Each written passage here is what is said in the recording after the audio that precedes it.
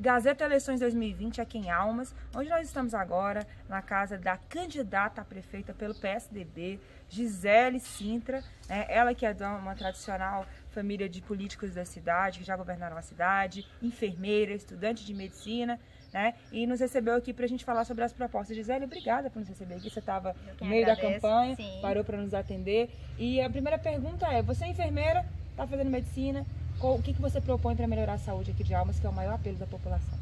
Bom, a saúde de Almas, ela é como todas as áreas prioritárias para mim, mas a saúde por conta da minha própria formação, né? Sou enfermeira de formação e a gente tem conversado, elaboramos um plano de governo realmente com uma escuta qualificada, conversando com todo mundo escutando as necessidades e por eu entender da área, a gente vai trabalhar muito forte na parte de fortalecer a atenção primária à saúde, fazer com que as equipes de, de, de, estratégia de saúde da família trabalhem de fato promoção e prevenção da saúde, reorganizar toda a estruturação de vacina, porque as nossas metas hoje estão baixas.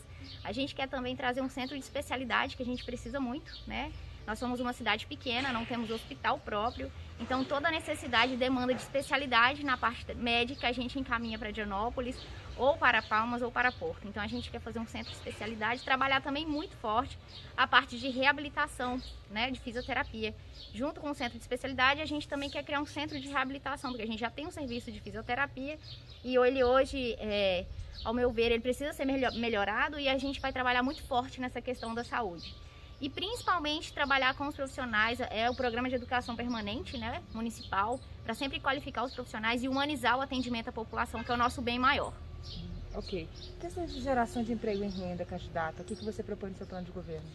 Dentro da nossa linha de estrutura e administração, a gente tem fomento é, bem forte a parte do potencial turístico em Almas, né? A gente já tem conversado com os investidores, a gente tem uma região aqui da Serra Negra que faz parte das Serras Gerais, né?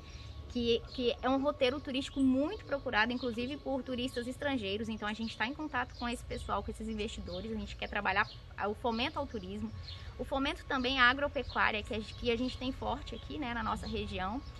E a gente tem como proposta criar a Secretaria de Mineração, porque a nossa região é tradicionalmente muito rica no minério, né, no minério ouro e de exploração mineral. E a gente tem, tem recebido já algumas empresas, a gente tem um, aqui uma concessão antiga, a antiga Vale do Rio Doce tinha uma instalação aqui, operava aqui, saiu e agora tem uma outra empresa grande voltando. Já temos uma empresa pequena que chegou, que chegou esse mês, a gente já está em contato com essas empresas e a gente quer trabalhar muito, organizar a Secretaria de Mineração junto com o Meio Ambiente para organizar, regulamentar o serviço, para fazer com que essas pessoas possam ter uma exploração consciente, gerar emprego e renda e melhorar a qualidade de vida da nossa população.